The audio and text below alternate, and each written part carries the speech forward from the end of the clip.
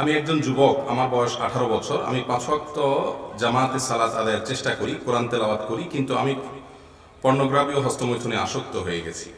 আল্লাহর কসম, আমি এই পাপ ত্যাগ করতে চাচ্ছি কিন্তু পারি না।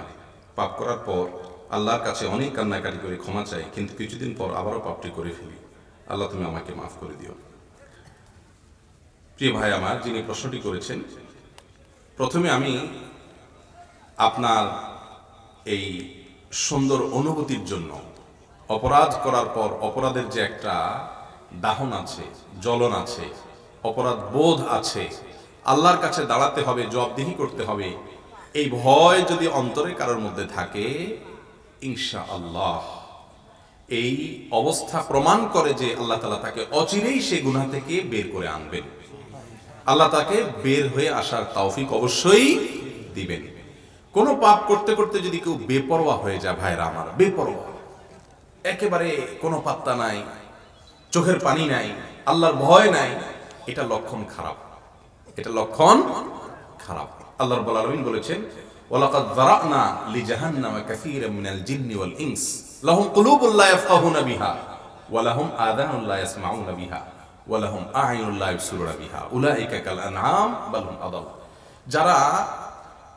সব কথা শুনেও না শোনার ভান করে, তাদের মধ্যে কোনো অবস্থার পরিবর্তন হয় না। এই লোকগুলোকে আল্লাহ তালা বলেছেন জাহান্নামের জন্য তৈরি করেছে। অপরাধ করার পর আপনার ভিতরে যে জ্বলন আছে, অস্থিরতা আছে, আল্লাহর ভয় আছে, প্রথমে আল্লাহ শকর আদায় করুন যে, আলহামদুলিল্লাহ আপনি বেপরোয়া আপনাকে আল্লাহ রব্বুল আলামিন তাইবিনদের কাতারে, যাদের তব আল্লাহ কবুল করবেন, তাদের কাতারে সামিল হওয়ার তৌফিক দান করে আমরা দোয়া করি। আর সেই সাথে আমরা আপনাকে কিছু পরামর্শ দিব। প্রথম কথা হলো যে দেখুন ভাই, পর্নোগ্রাফি এবং হস্তমৈথুন, এগুলো আজ মহামারীর আকার ধারণ করেছে।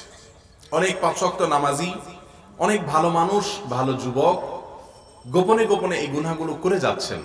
তিনি বের হয়ে আসতে চাচ্ছেন, কিন্তু পারছেন এর জন্য সহায়ক কয়েকটি পরামর্শ আমরা দিচ্ছি। প্রথম পরামর্শ হলো, আল্লাহ রব্বুল আলামিন এই জাতীয় অপরাধ থেকে বের হওয়ার জন্য পলিসি বাতলাইছেন কোরআনে, ওয়ালা তাকরাবু জেনা।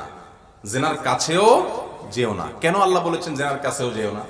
আল্লাহ লা তাজনুনা বলে লা তাকরাবু জেনা কেন বললেন? কারণ আল্লাহ জানেন যে জেনার মতো অপরাধ, হস্তমৈথুন এটা জেনা সংশ্লিষ্ট অপরাধ, তারপরে আপনার পর্নোগ্রাফি এটা জেনা সংশ্লিষ্ট অপরাধ, জেনার আইন আন্নাজ নবী সাল্লাল্লাহু আলাইহি সাল্লাম বলেছেন সহিহ মুসলিম হাদিসে। চোখে জেনা হলো চোখ দিয়ে খারাপ জিনিস দেখা। এই অপরাধগুলো মানুষ যখন কাছাকাছি যায় তখন করে। আর যখন একটা ছোট অপরাধ করে, তখন আস্তে আস্তে বড় অপরাধের দিকে সে অগ্রসর হয়ে যায়। এই জন্য জেনার কাছাকাছি গেলে জেনা না করে খুব কম মানুষ থাকতে পারে। এই জন্য আল্লাহ বলেছেন, আগে থেকে জেনার থেকে কি থাকো? দূরে থাকো। লা তাকরাবু, জেনার কাছে যেও না। এই জন্য প্রথম পরামর্শ হলো, যারা বেঁচে থাকতে চান, এটা থেকে দূরে সরতে হবে। দূরে সরা বলতে দৃষ্টান্ত স্বরূপ, আপনার মোবাইলে এরকম কোন ছবি, ভিডিও, গান থাকলে সেগুলো সব গোষ্ঠী ধরে একসাথে ডিলিট করে দিবেন। ফরম্যাট করে ফেলবেন এটার জন্য বুকে বল লাগবে, আবার ইমানি শক্তি লাগবে। যখন আল্লাহর ভয় আসবে, চোখের পানি আসবে, লজ্জিত হবেন অপরাধ করার পর, তখন ইমান তাজা হয়। নবী সাল্লাল্লাহু বলেছেন, লা ইয়াজনি কেউ যখন জেনায় লিপ্ত হয় এই যে পর্নোগ্রাফি দেখছেন জেনা করছেন এই যে আপনি হস্তমৈথুন করছেন জেনা করছেন কেউ যখন জেনায় লিপ্ত হয় তখন তার ইমানটা তার শরীর থেকে বিচ্ছিন্ন হয়ে যায়, আলাদা হয়ে যায়। যখন সে জেনা থেকে সরে আসে ইমানটা আবার ফিরে আসে। এই জন্য দেখবেন, এই অপকর্ম থেকে যখন সরে যান, সঙ্গে সঙ্গে আপনার ভেতরে একটা ইমানদার হয়ে থাকলে অপরাধ বোধ জেগে ওঠে, আফসুস লাগে, লজ্জিত হন। হয় কি হয় না? এই হওয়াটা প্রমাণ করে যে আপনার মধ্যে ইমান ফিরে আসছে। আর যখনই অনুশোচনা হবে, দেরি না করে সঙ্গে সঙ্গে এই মোবাইল থেকে সব ফরম্যাট করে দিবে। কথা কি বুঝাতে পারছি? ফেসবুকে যদি কোনো পেজ বা এই জাতীয় কোনো কিছু থেকে আসে, সেগুলো সব ব্লক করে ফেলবেন। কোনো বন্ধু যদি আপনাকে এই সমস্ত দিকে পথ দেখায়, সে বন্ধুর সাথে সম্পর্ক ছিন্ন করবেন, তার নাম্বার ডিলিট করে ফেলবেন এবং এভাবে জেনা থেকে আস্তে আস্তে দূরে সরবেন। কোনো মেয়ের সঙ্গে আপনার পরিচয় হয়েছে, সেখান থেকে আপনার মনে বাজে চিন্তা আসে ট্রান্সজেন্ডার পরিবর্তন ট্রান্সজেন্ডার কি ইসলাম সমর্থন করে? দেখুন ট্রান্সজেন্ডার অর্থাৎ লিঙ্গ পরিবর্তন করা। পুরুষ নারী হয়ে যাওয়া, নারী পুরুষ হয়ে যাওয়া।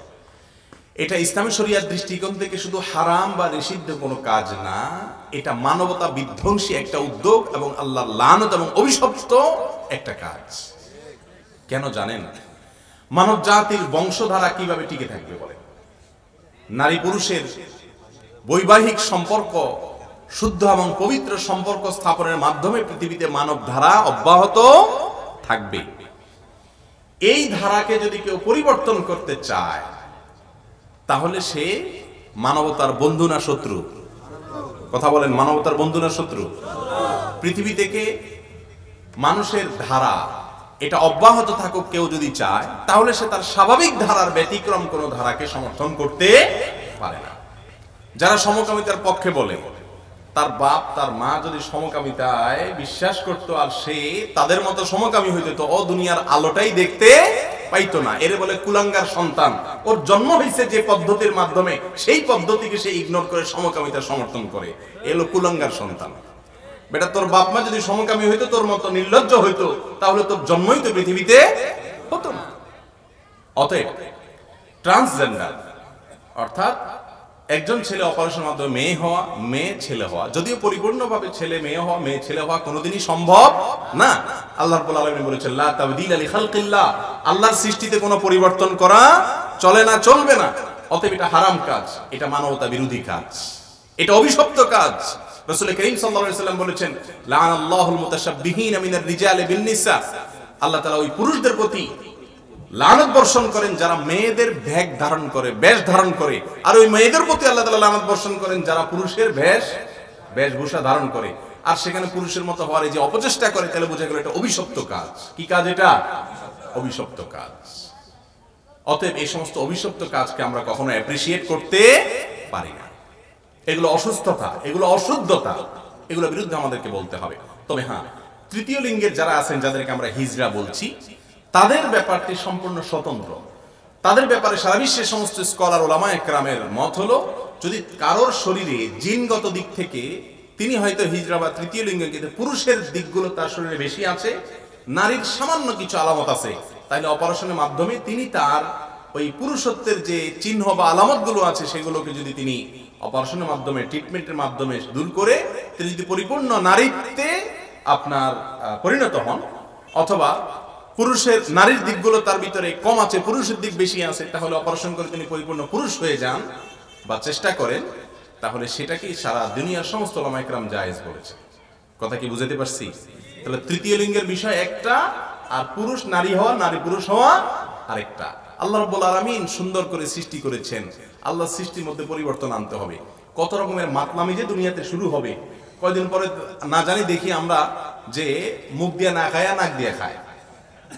যেটা আমার স্বাধীনতা।